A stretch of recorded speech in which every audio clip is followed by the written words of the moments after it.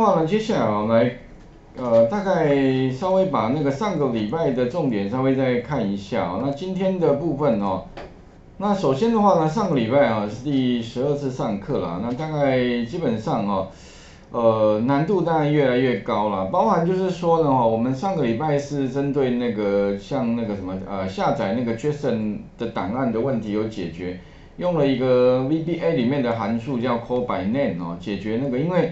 这个这个 name 这个字哈，它其实里面好像把它当成一个保留字，所以你只要一输入它就变小写啊，name 诶 n 变大，n 是大写了，后面写那当然这个大小写再加呃这个 JSON 里面哈，它是有影响的，所以会造成错误。后来换了这个 call by name 哈，那就可以把问题解决。那再来上礼拜好像重点就是在针对那个 XML 格式哦做资料的下载。好，那其中我们是利用那个那个什么，哎，这个新北的那个 u b y 的资料哈，做那个下载。那当然这个地方的话呢，哈，呃，XML 其实还算是单纯。那比较难的哦，我上前面都讲过，就是针对那个 HTML 这个部分，你要抓资料的话，其实难度就蛮高的。好，那我们有演练一下，其实针对那个 HTML 这个格式哦，哎，比如说我想要抓资料的话。那当然呢，诶，上个礼拜我们主要是这个原始码，其实还算单纯，一一个头一个尾有没有？就 HTML 开头尾，然后主要要抓的是这个 body 啊，body 里面的东西。那你可以看到这个是我们要抓的东西。那比如说我想要抓什么，Hello World 一二三好了，啊，当然我可以知道它的标签是 P 的，所以我可以把 P 抓回来。或者如果你一二三全部抓，其实你把 body 抓回来也可以了，OK 哈，然后它就会可以把它显示出来。但是如果你只要比如说第二个的话，那你就要算它到底是哪一个。也许那当然这个是呃索引值从零开始，所以你中刮弧零，呃小刮弧零啊，然后这个一这个二，那你可以算一下哦，它是一把这个一给抓回来。所以这个可能还是要知道说到底你要抓什么。那 HTML 里面最多就标签啦，OK，这个所以这个没有办法，你一定要了解标签常用的标签有哪一些。那当然包含，比如说段落啦、body 啦，好，头的话比较少抓，因为头其实它 title 里面这资料抓回来是没什么用哦，OK，比较少。那另外的话呢，哈，当然除了这个标签之外，哈，其实还有所谓的那个什么，诶，这个所谓的诶类别，啊，你啊，我这边有第二个范例，第二个范例里面就多一个叫 class，有没有？在标签里面又有一个 class 的一个，这个叫属性的哈。那这个属性就是说它，诶，这个后面的资料是属于哪一个类别？类别顾名思义嘛，哪一个类别？那有点像是，呃，利用这个类别哈，我们可以把同样性质的资料，比如说你要做一样颜色啦，有没有？像那个哪个地方做什么颜色，哪个地方哪一个类型的资料，哪个类型，那就会用 class 去把它划分一下，OK。然后所以呢，我们也可以利用那个什么了，哎，就就是里面有个方法叫 get 好 elements。By 这个 class name 有没有 class name？那就是把这个 class 名称哦，哎，把它把它抓到，那给它一个它的 class 名称，那我就可以把里面的资料给抓回来了。哎，大概是这样啦。其实基本上就是要抓里面的资料为多。OK 哈。那当然除了说呢，有那个什么有 class 名称之外哦，其实还有 ID 啦。OK 好。啊，当然呢，跟各位讲一下，这个 class 名称不一定会有，有的。这个标签后面会有，那你可以用 class 名称抓，但是有些没有，那没有一定，但是一定会有的这标签，所以呢，反正呢抓标签应该是这个啊第一重要，第二个重要的话通常是 class，那 ID 也不一定会每个都会有，这个 ID 的话有的有有的没有，啊，所以呢哈你可能要针对实际上那个网页背后的原始码，你可能要看一下，然后针对。他这个资料再去抓取，才有办法把资料抓下来。OK 哈，啊，其实说真的，这对同学来说其实是有点复杂了。可是没办法，因为如果你要抓这个 HTML 资料的话，那一定会遇到这个背后的原始码。所以如果你假设对这个原始码，哎，不能了解的话，说真的，就一定会有一个障碍啦。这个是一定要过的坎啊。那不管说呢，今天是用 Excel VBA 来抓。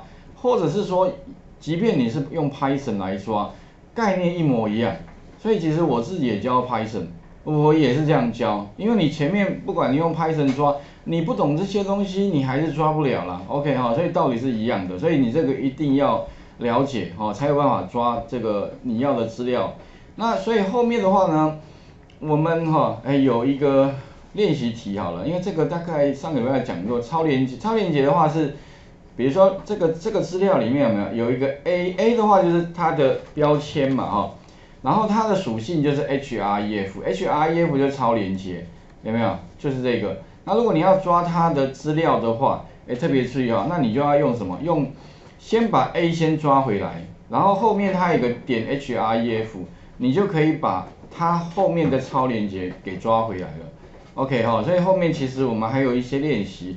呃，针对你想要抓的，因为有的时候我想要抓的资料，并不是说在那个什么，哎，表面上看到的，有些是背后的东西哦。比如说像这个属性 href 就超连接，像比如说我希望把这个网页里面的超连接全部抓回来，哎，那当然哦，就又必须要学会一个抓后面的点 href 的一个属性资料，哦，啊，其他还有像抓里面的那个什么图档的名称。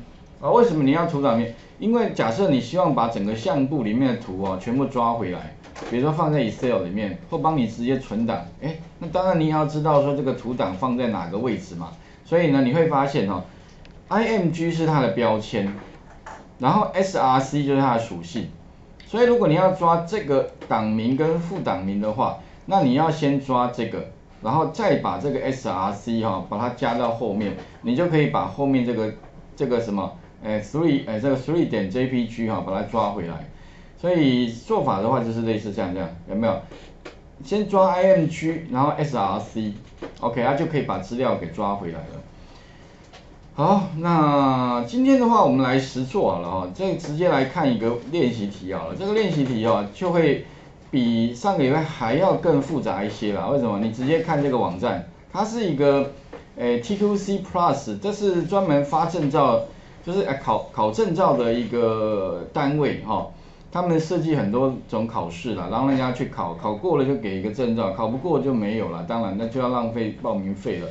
那其中的话呢哈，这边有很多类别，比如说像 Sketch Pro 啦、AutoCAD 啦等等的有没有？然后另外跟城市有关的啦哈，城市有关的像 Java 有没有？像 Go 哈，另外还有考什么 C C Sharp，那甚至还要考 Python。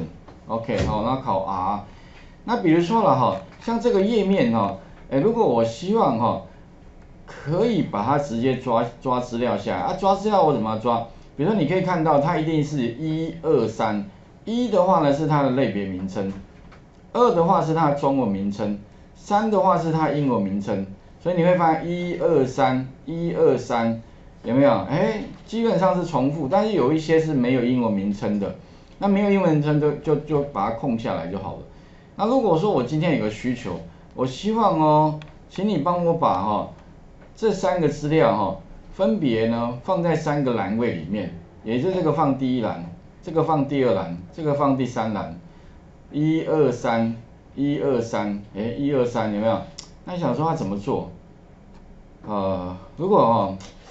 你实在是不会的哈，Ctrl C 有没有？变成怎样？你要比如老板说，哎，你帮我把它变成一个表格，那你可能哈，我不知道哎，你们可能当然不会，哎，做出来就像这样了，有没有？类别名称、中文名称、英文名称。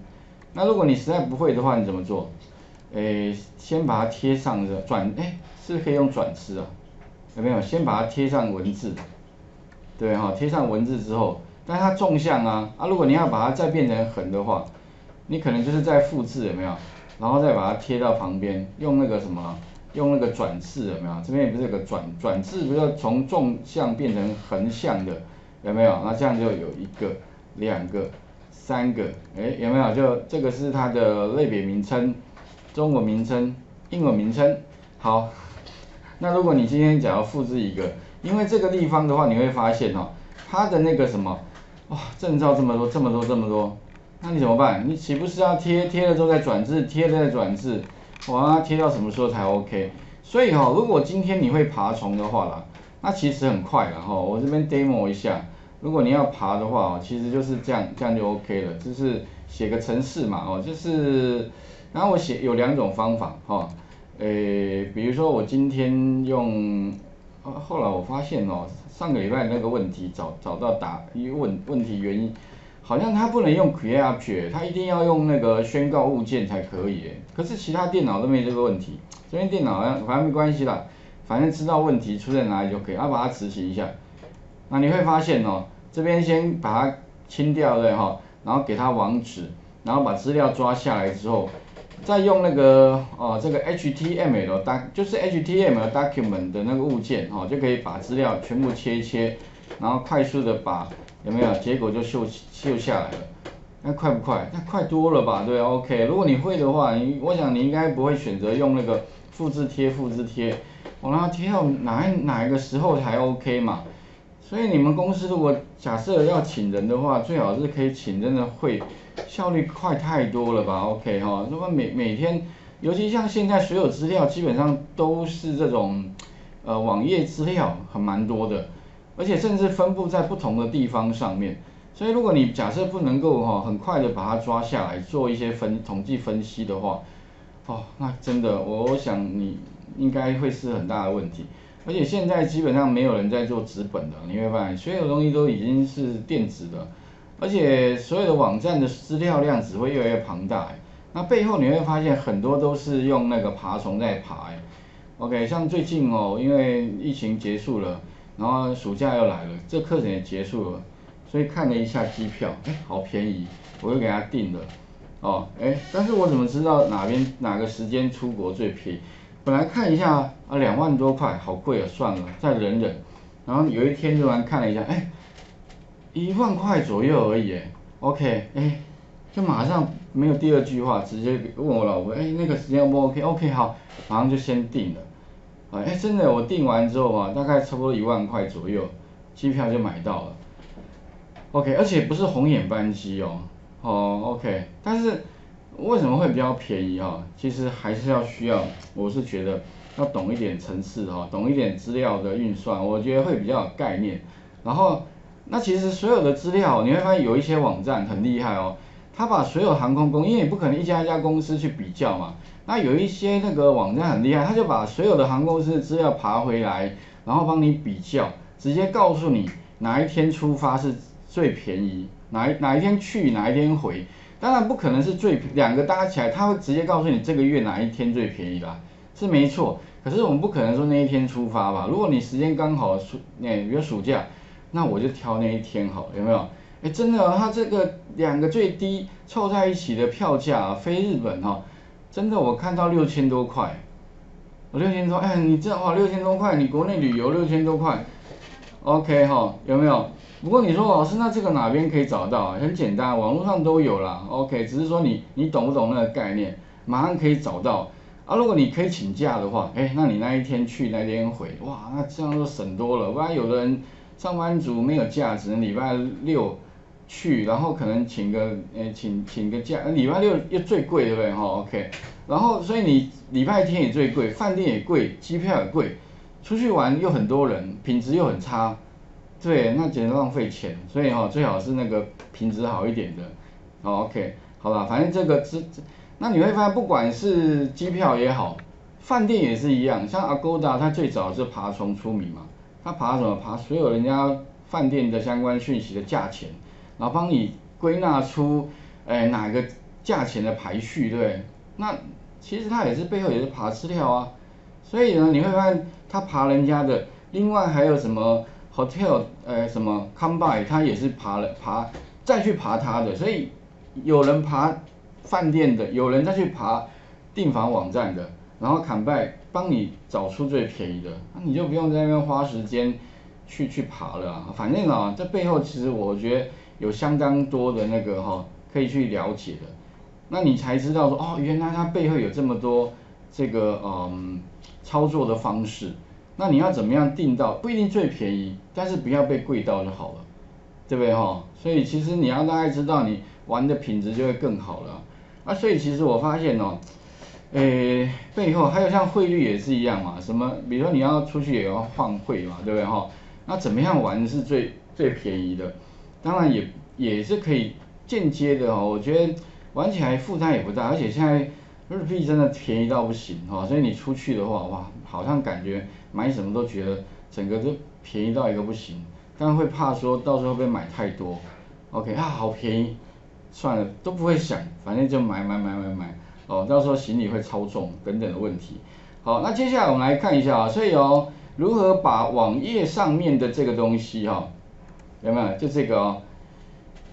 可以把它变成哈，呃，所以待会你们大家看了解一下。那我们的目标哈，反正就是要把它变成 Excel 的一个表格。哦，那当然第一个问题是说，它这个资料哈，它不是表格，而且是纵向的，有没有？那你要把它改成横向的，一个一个一个，有没有？然后呢，你抓抓抓，所以理论上啊，应该可以分三个不同的东西来抓。OK 哈，一第一个、第二个、第三个，那可是要怎么抓哈？其实跟各位讲，当然我建议各位哈，按右键哈，有没有检视原始码？不过你会发现光看到这些哈，我看你应该就想要放弃了，有没有这些？哇，总共几几行啊？一千八百三十八行，就是它背后的原始码。但是我跟你讲啊，你根本不用看这个啦，这个其实可以跳过，因为我我是觉得这个太难。我的习惯这样，我要抓这个。比如说第一栏的资料，我就在第一个这个字按上按上面按右键有个检查，哦，所以第一招我建议你一定要熟悉。但是这一招的话，你可能慢慢要习惯。反正以后你在浏览网页的时候哈，偶尔你就是靠看稍微看一下，慢慢习惯你就比较熟悉了。那你要找到什么标什么什么东西，按右键检查。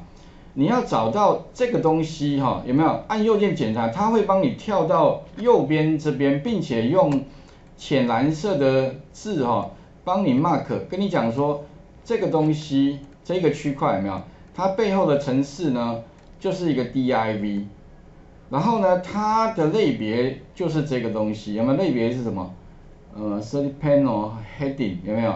然后里面就放什么？里面就放建筑林有没有？然后结束的话就是 div，所以吧哈，我们有两个方法，一个方法就直接抓那个 div。但问题你会发现哦，哇，这个网页哦，恐怕一堆 div，你光要抓 div 可能就抓不完。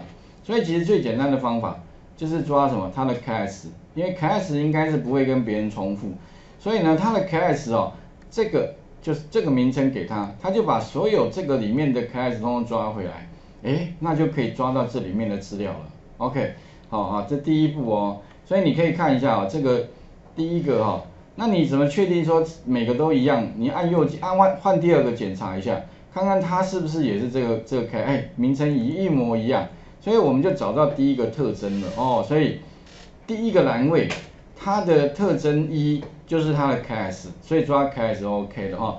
那第二个的话呢，这个大字中文按右键一样嘛，直接在上面按右键哦检查一下，它一样会帮你怎么样把它停在，所以你在上面按右键哦，记得哦。它一样呢，会帮你告诉你说你现在的这一个有没有资料背后它的诶组成是什么样的呃原始码，所以你只要看懂哈，它这个叫 H 四啦，H 四就标题四，啊诶，所以哦，如果你假设哦把 H 四给抓回来，理论上应该就 OK 了。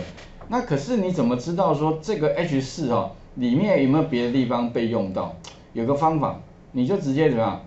在这个中间，Ctrl 哎，这个这个这 Ctrl F，Ctrl F 的话还先还记得吧？我们之前也用过吧？你直接在这边打一个，直接打这个标签名称叫 H 四，那看一下它总 total 的数量哦，是不是七十四？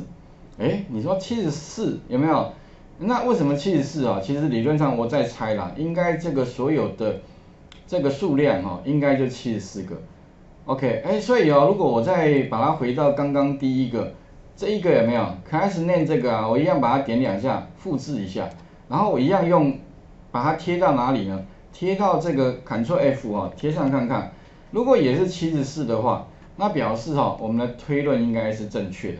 也就是说啦，哦，第一个我抓它的 class name，第二个我抓它的那个什么，哎，它的 tag name，它的标签名称。好，那第三个的话呢，就这个英文名称，按右键哈，直接在上面按右键检查一下，它的标签名称是什么？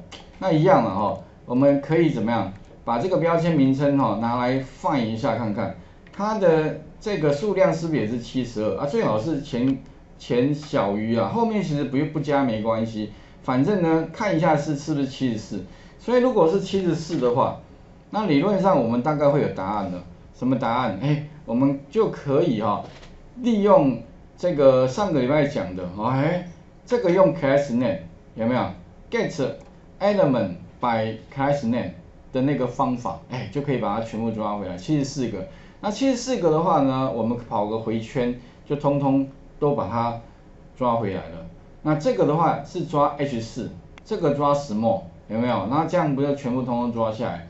那怎么做哦？待会我们再来看哦，你们先大概知道一下哦，这边会有一个，诶，记得哦，是在第五个单元里面的第几页？第六页立方，OK 哈，啊这边有一个叫 TQC Plus 的官网了哦，这个网站，那当然了，这个网站你说复杂也不复，反正就是一般的网站，那当然其他网站也类似，所以如果以后你要抓什么的话，其实方法都差不多，好。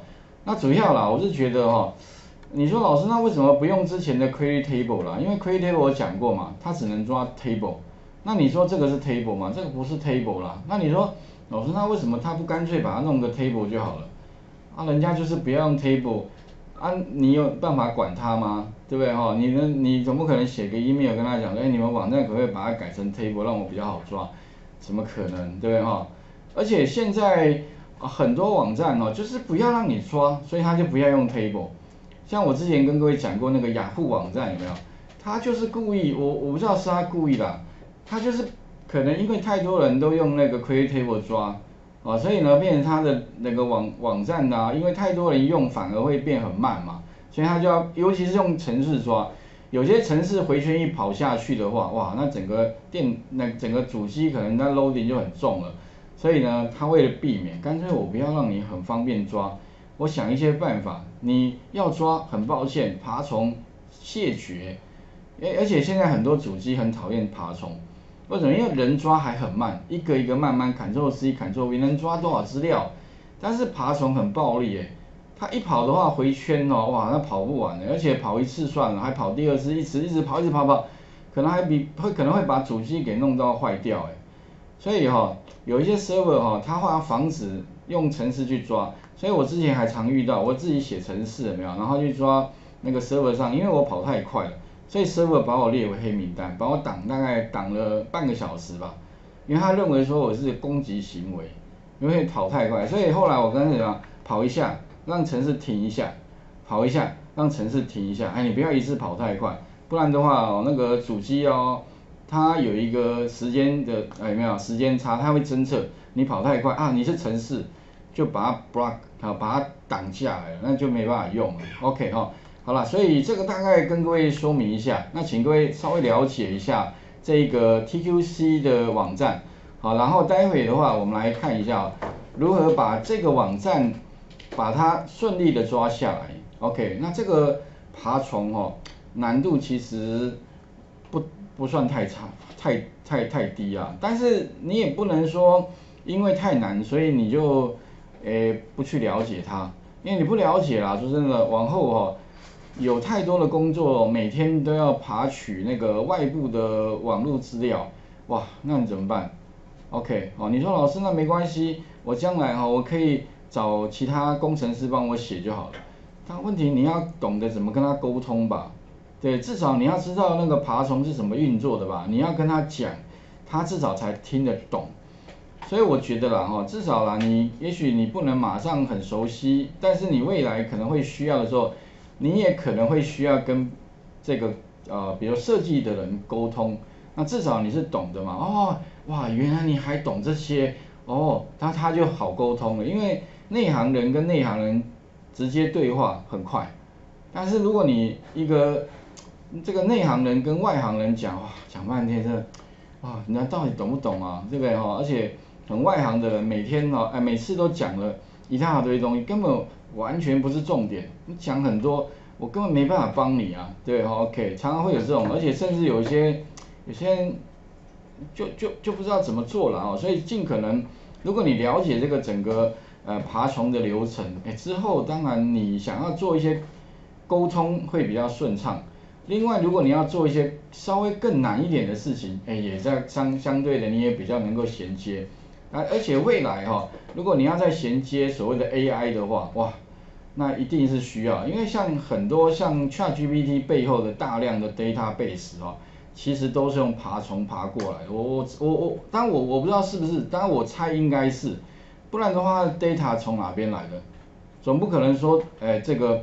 有什么地方哈，哎，直接就给他了，不可能吧？他一定要是从，而且我发现他很多来源，他都没有标标哪个网页，他奇怪他怎么会写出一些程式，然后呢，哎，感觉好像曾经在哪个网站上看到，但是他没有告诉你在哪边出来的，哦，OK，所以显然我猜他应该很多地方应该就是去啊，要不就是预先把资料爬下来放在他的 database 里面。